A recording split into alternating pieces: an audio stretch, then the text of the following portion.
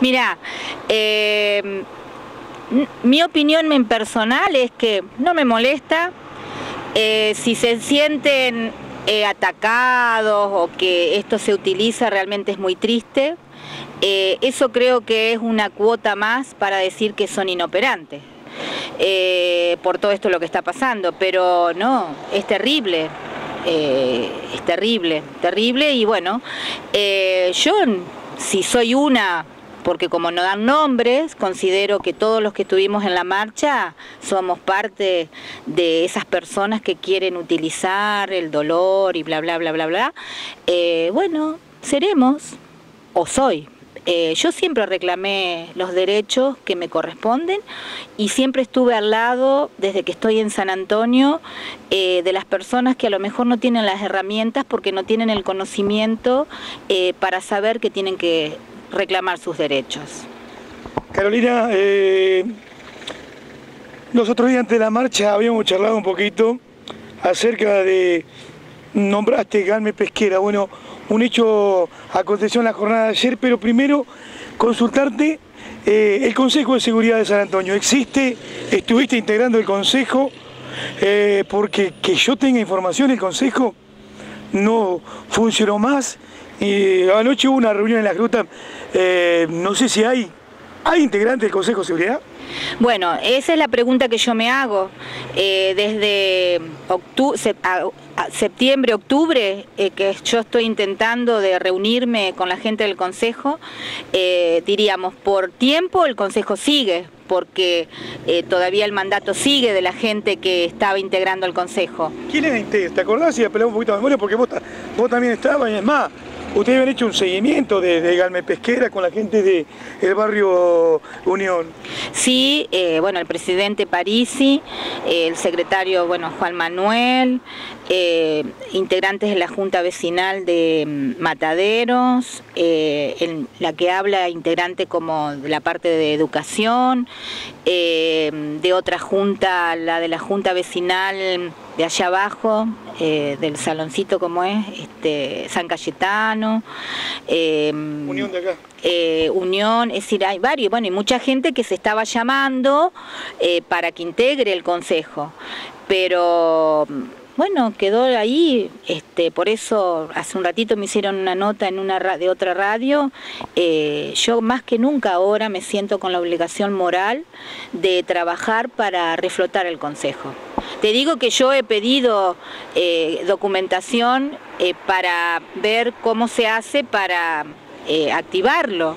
Hasta ahora no he conseguido, pero bueno, ahora voy a moverme más con esto, porque lo que pasó anoche, ayer a la tardecita con esta niña, son cosas que se pueden evitar. No así, no me voy a meter en la situación o los motivos por los cuales esta niña tomó esa decisión eh, pero sí eh, que es un lugar que ya sabemos, que ya hubo una muerte, que lo utilizan para delinquir, eh, es un lugar muy peligroso, ¿sí? Muy peligroso. Carolina, esa inquietud ustedes la habían seguido de cerca. se ha hablado inclusive de qué manera, de qué manera se podía expropiar hacerse de esa documentación y había un síndico. ¿Ustedes tuvieron acceso? ¿Llegaron alguna vez a charlar con el síndico de, la Calme Pesquera?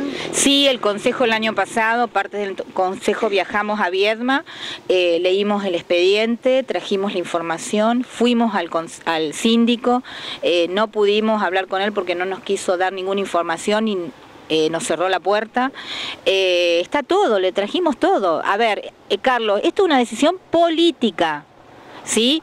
Eh, más allá quién es el dueño, que es una, firma que no existe, eh, que, es decir, no, tiene, eh, no existe porque no tiene domicilio físico, ¿sí?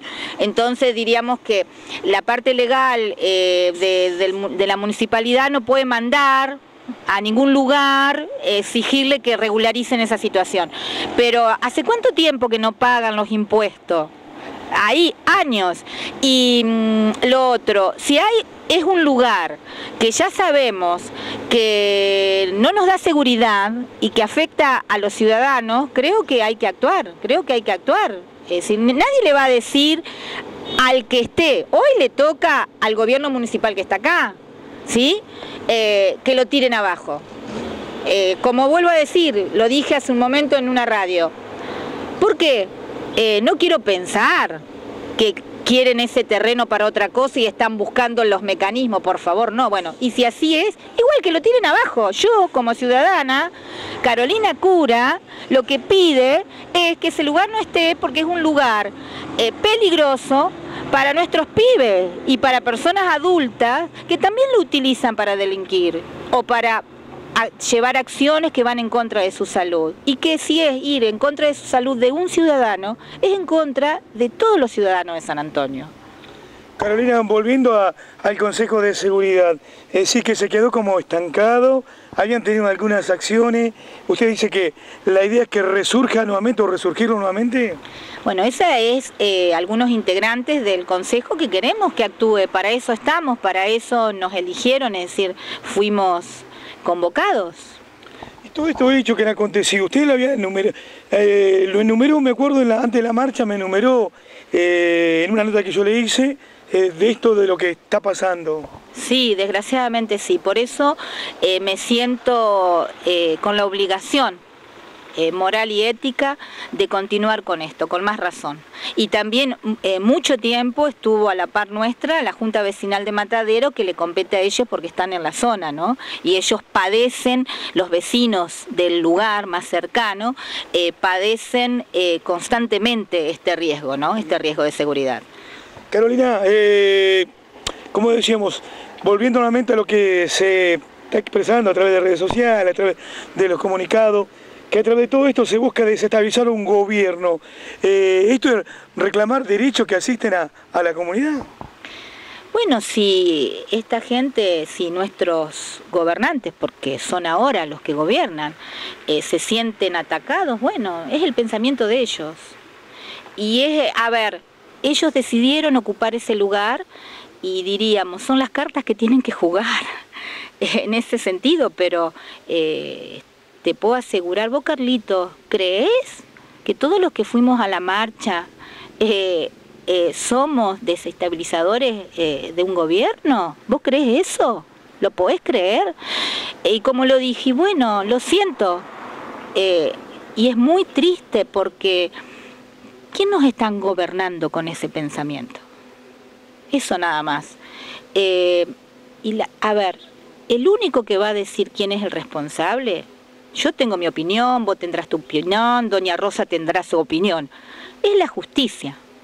Pero lo triste es que esa misma justicia, ¿sí? Hace 10 años, esa misma persona que según se dice eh, lleva adelante en el club eh, ese comercio, es decir, la cancha, lo que fuera, eh, también tuvo por una misma razón, es decir, por un lugar que no estaba en condiciones, se produjo un incendio y hubo dos muertes.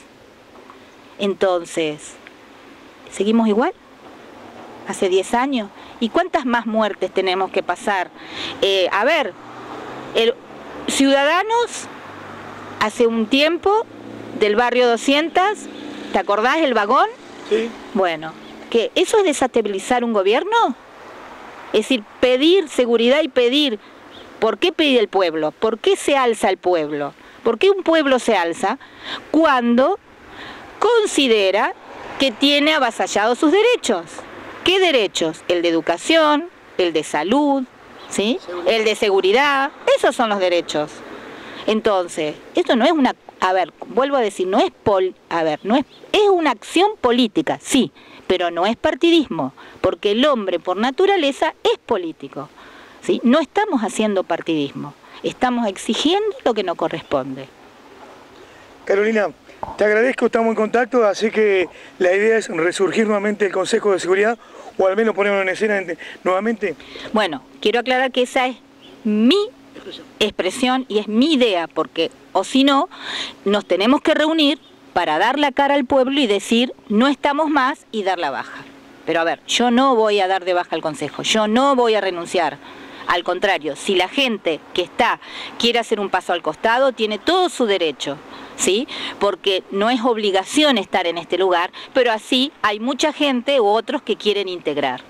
Entonces ahí te voy a llamar, llegado el momento, para este, dar información y dar a conocer. Te agradezco y estamos en contacto. Muchas gracias, Carlos, y buen día a toda la audiencia.